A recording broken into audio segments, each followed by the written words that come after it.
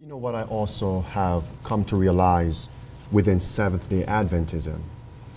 I've known a number of individuals who have gone to various training centers, schools, to learn how to do medical missionary work, hmm. colporteuring evangelism, and even Bible workers, Bible work. And they are sent back into their local churches where the leaders don't give them an outlet to share and to work with those gifts and talents. So they're spending hundreds, hundreds of dollars, Thousands. thousands, okay, to be trained. And because the engine, the body, the local church is not following the blueprint of God's word, these people sit on those uh, acquired talents in ministry. And since they're not being used, they die.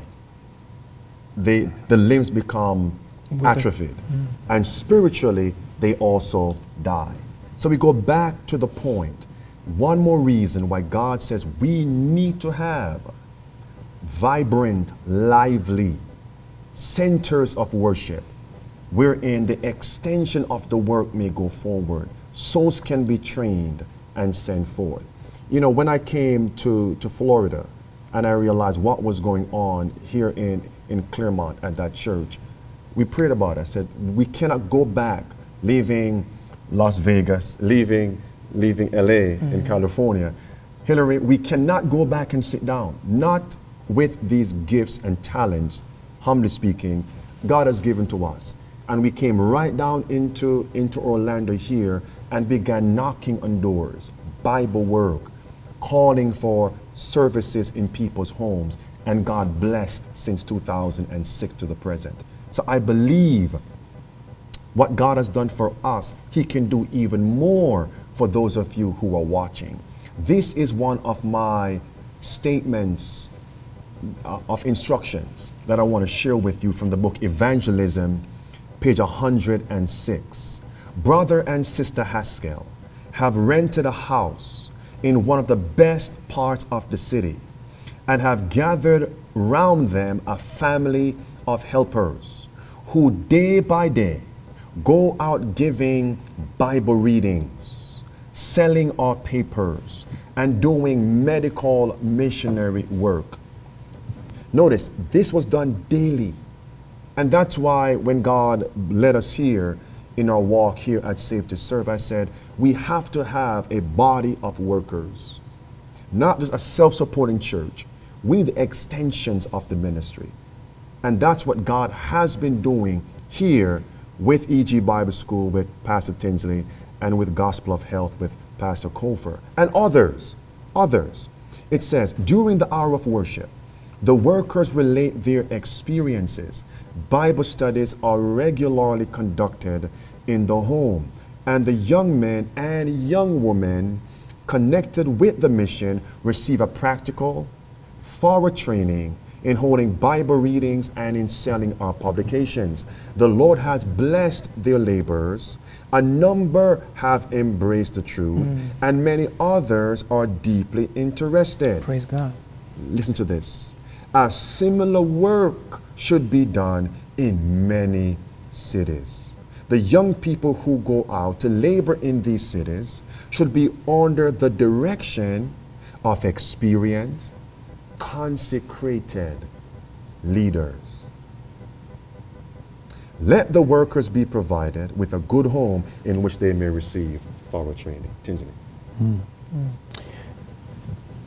When you look at these schools of the prophets uh, and their purpose and their intent, God has given us these this blueprint um, as an education. When you look at homes, uh, you look at even with Elijah. Elijah was looked upon as a father. And you see in other places where there were families, there was a family environment in these schools of the prophets, where they not only, as they were trained in ministry lines, they were also trained in business, merchant lines. When you had the woman whose father, husband was deceased, and the creditors wanted to come and take the children away. And Elisha had instructed her to go and get the bottles of oil, and God would fill them, and then she was to sell them, pay the debt, and to live off of the rest of those finances. You see also in the schools of the prophets how when God had begun to bless and more students were coming, and the students came to Elisha, First Kings, Second King, um, Second Kings chapter six, and they said the place be too strait for us, and they said let us go down and let's fell some trees because they wanted to expand the grounds. And so when you look at these uh, schools of the prophets, they were to be again centers where business was conducted, uh, where missionary lines was conducted, and it was to prove as a barrier and a safeguard against the corruption, not again, sadly to point out, not only in the world, but from the Hophnis and the Phineas, mm-hmm. who had caused people to walk away from the truth of God. Mm-hmm. But through the schools of the prophets, these people were to be won back to the cause of truth. And so these centers were to serve as, again, a barrier against error, corruption. It was also to furnish the youth and families with skills that they could survive in the business world as well as in missionary lines. And so, again, these things are to be reproduced. But again, you cannot do this in one week. You cannot do this in a weekend seminar.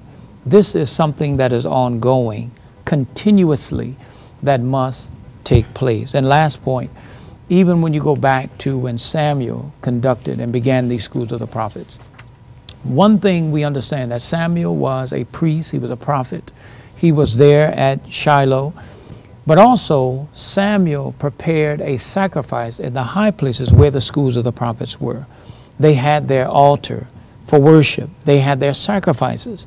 Uh, we see in Second Kings where there were offerings and means that one would say was only to go to the storehouse, but they were also given to the schools of the prophets to supply the students with adequate means to do the work that God had given to them to do. So these things are to be re reproduced in this our day.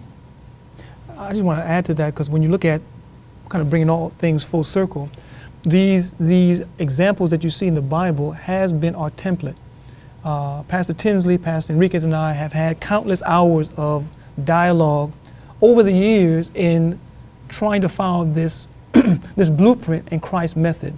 The reason why we focus on prophetic events, even using prophetic events as a medium by which to convey truths that would cause people to slumber otherwise, is Christ's method. Christ used the issues of the day. Christ used issues in the church and made it parabolic. The sermon concerning, or the parable concerning the, the Good Samaritan, the parable concerning the unjust steward, all these things were made parabolic and made a vehicle to communicate gospel truth.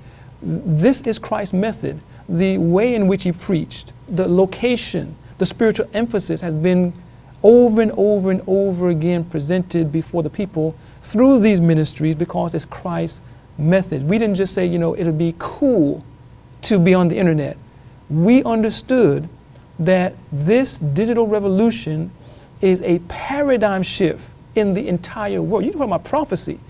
There's never been a moment like this since the time of Martin Luther and the reformers. And the ability to, to promulgate and promote the truth has never been like this. Is why early on, Pastor Henriques and Pastor Tinsley and I basically went digital. I mean, we were making DVDs, we were writing our newsletters, we were traveling, doing different kind of work, and we saw this, what we call the digital river Jordan, as a way by which we could start a school all over the world. And rather than, nothing wrong with it generally, but rather than trying to hold back certain teachings and make them DVDs just for sale, we put everything online. We, we just gave everything. People want DVD, fine, but we, we just gave everything. And we started creating a library of sermons whereby people in Africa, in Kenya, I'm going to ask these brethren about their statistics. Africa, all over the world, people are watching.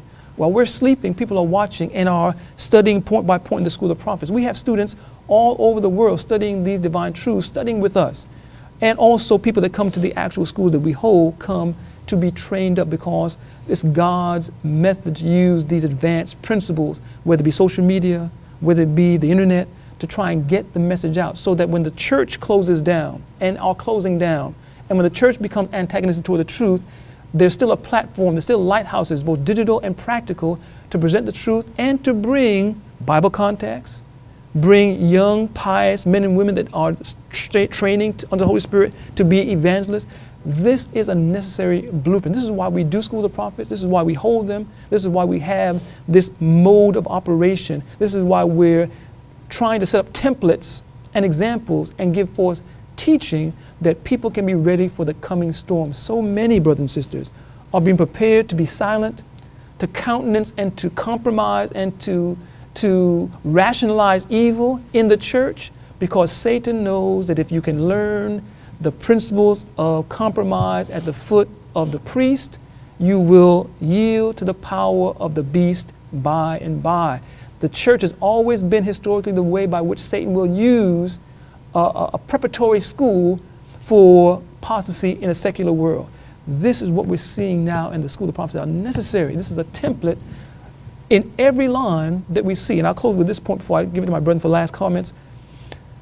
It is deadly to just preach and focus on the last 15 chapters of the Book of Great Controversy. Many of the present preachers of our day mm. focus on the last 15 chapters of the book Great Controversy. They focus, they, they glory in, and praise God for any study of any topic of anywhere, but they glory in the last 15 chapters and the ideas of the coming time of trouble and the idea of Sunday law and the idea of the close of probation. These things must be dwelt upon. But Ellen White says in the preface, the introduction to the book Great Controversy, that the entire book shows a template of things to come. It must be studied. All these things were put in a short compass because she said we don't need to really dwell upon this large teaching concerning Martin Luther, but God showed me these points that will be repeated in the last days, and these ways by which Satan will work to destroy the truth and workers in the last days, so that we can study these things. So when we study Martin Luther, we see a template how Luther and Wycliffe worked together. Sorry, Luther and Melanchthon worked together, establishing schools and churches as a template for us. Wycliffe's Lollards, gathering young men together and sending them out with literature and helping them understand the work so that after Wycliffe was gone, they did a work all over Europe as a template. The work of the Methodist Connection, where these individuals were all ministers of their faith, but they saw that their own peers were false teachers and were beguiling souls. They started to connect together and organize in a way that would protect the sheep of God. It was called the Methodist Connection. They didn't know desire or desire to create another church. They were just being faithful to the blueprint. All these things are Christ's method. It's not calling out the church, brothers and sisters. It's calling men to the Day of Atonement, calling them to righteousness, making them prepared to receive the Holy Spirit and to get ready, get ready, get ready for the end of time. Brothers, any last word before we close on that point, if any? Well, with that, I want to thank our host, Pastor Henriques, here at Save to Serve, for opening up his mm. facility for this recording. I want to thank also Pastor Tinsley of EG Bible School for even flying in to fellowship with us for a few moments and do this work. And again, uh, I'm thankful for you joining with us and also not only watching this, but going back over and writing down notes. Not only watching and writing down notes, but also sharing this and also the smaller parts of, parts of this message with friends and foes alike to get a knowledge of these truths before people. Don't just hear it, also share it. Who will pray for us before we close out this session? Anyone want to have a prayer? Let's pray. Let's pray. Father in heaven,